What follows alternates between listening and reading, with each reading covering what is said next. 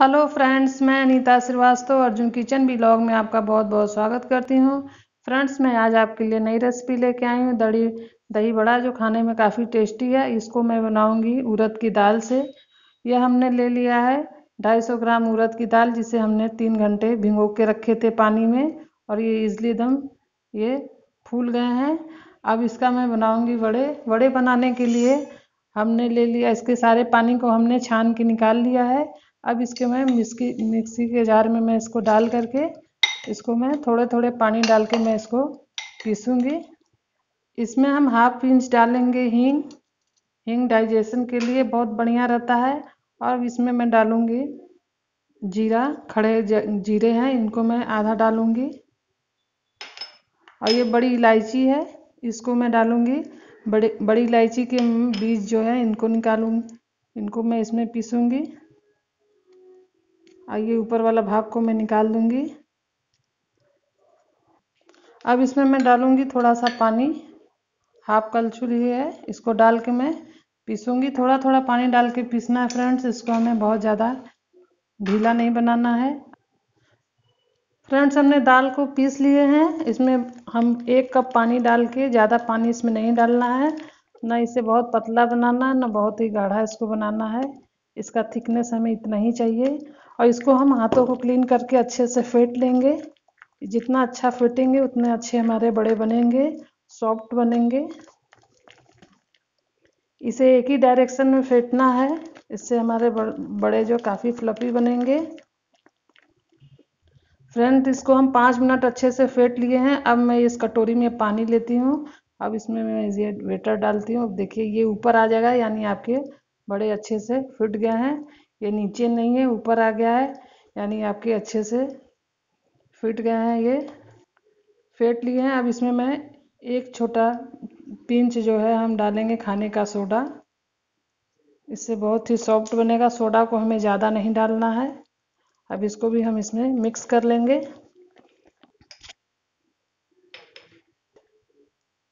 Friends, इसमें हमें नमक बाद में डालना है, नहीं तो हमारे बड़े जो है अच्छे नहीं बनेंगे। अब इसको हम बनाते समय इसमें हम एक चम्मच, छोटा चम्मच हम नमक डाल दिए हैं स्वाद के अनुसार। अब इनको हम मिक्स कर लेंगे। फ्रेंड्स, हमने इस पलटे पे बनाना है। इस पलटे को हमने ले लिया है, बिल्कुल चिकना है। इस पर हम लगाएँगे ऑयल। ऑयल से अच्छे से ग्रीस कर लेंगे। और हमें अगर बनाना है बड़े तो हम इसमें एक चम्मच, इसमें इसका वेटर रखेंगे और इसको हम अच्छे से इसका हम सेप दे देंगे गोल में। आप चाहे तो इसमें होल भी कर सकती हैं और चाहे तो आप प्लेन बना सकती हैं। अब इसको हम बहुत इजी तरीके से आप तेल को हमने अच्छा गर्म हाई फ्लेम पे कर लिया है। अब इसमें मैं डालूँगी बड़े फ्लेम को हम थोड़ा मीडियम कर दिए हैं। अब हम बड़े को छुड़ाएँगे इससे। दूसरे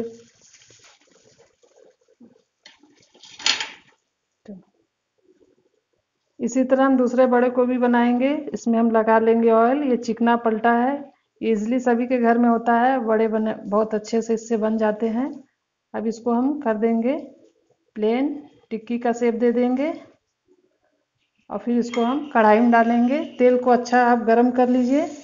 बड़े बनाने में कोई दिक्कत नहीं होगी। और फिर थोड़ा सा ये पक जाने के बाद इसको हम दूसरे पलटे से हम इसको इजली निकाल लेंगे। ये देखिए, कितने बढ़िया तरीके से बनते जा रहे हैं।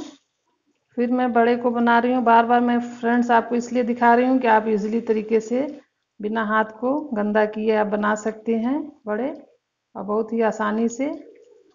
फिर इसको मैं डाल देती हूँ इसमें अपने तेल में, और इसको हम डीप फ्राई करेंगे। ये थोड़ा सा सिक जाए, कड़ा हो जाए, तब आप इसको दूसरे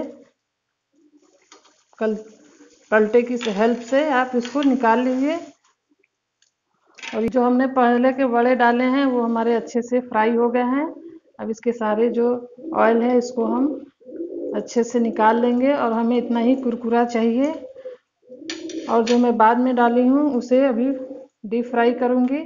अब मैं इसको टिश्यू पेपर पर रखती हूँ, ताकि जो भी इसका एक्स्ट्रा तेल है, वो निकल जाए। फ्रेंड्स हमने सादा बनाया है। अब इसमें मैं ड्राई फ्रूट्स डाल के बनाऊँगी, यानी मैं, मुझे किशमिश अच्छा लगता है इसमें मैं, बड़े में किशमिश बीच में डालूँगी। आप चाहे तो काजू डाल सकते हैं वो उसका भी टेस्ट बहुत ही अच्छा लगेगा। अब इसमें मैं एक किशमिश डाल दे रही हूँ बीच में, और इसको मैं कवर कर दे रही हूँ ऊपर से। और ये जब आप खाएँगे तो ये बहुत ही अच्छा लगेगा, बीच में मीठा मीठा लगेगा। अब मैं इसको इसी में डाल देती हूँ।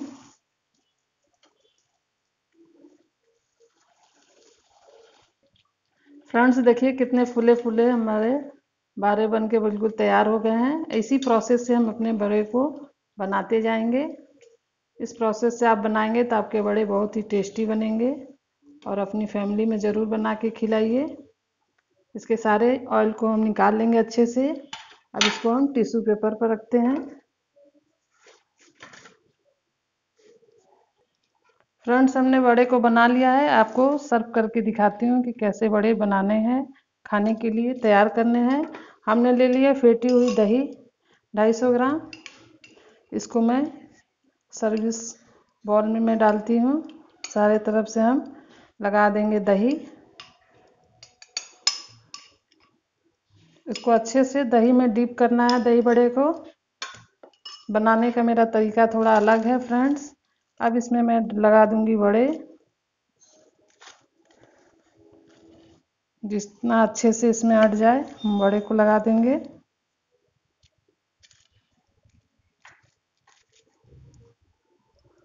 अब इसमें डालते हैं इसके ऊपर दही।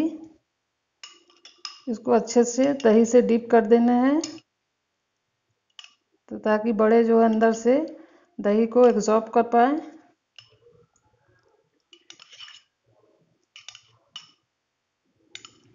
इसको पूरा कवर कर देना है, तभी दही अच्छी लगेंगे, दही बड़े आप इस तरीके से ज़रूर बनाएँ फ्रेंड्स, ये बहुत ही बढ़िया लगता है।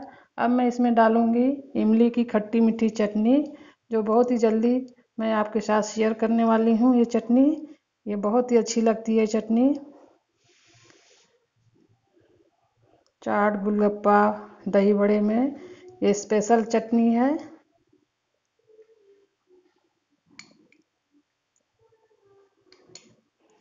अब इसमें मैं डालूँगी लाल मिर्च पाउडर तीखा के लिए। इससे बहुत ही बढ़िया लगता है। अब इसमें मैं डालूँगी सैंडविच वाली चटनी, हर, हरी ग्रीन चटनी, जो मैंने अपने वीडियो में इसका बना के आपके साथ शेयर कर चुकी हूँ अपने चैनल पे। आपको अगर बनानी है चटनी तो आप वहाँ से देख सकती हैं। ये बहुत ही चटपटी हरी चटनी बनती है, जो हमारे दही बड़े और चाट को टेस्ट दुगुना कर देती हैं। अब इसके ऊपर मैं डालूँगी भुना हुआ जीरा, जिसे हमने तवे पे भून के और इसको हमने बारीक पीस ली है। ये दही बड़े में बहुत ही अच्छा इसका टेस्ट आता है।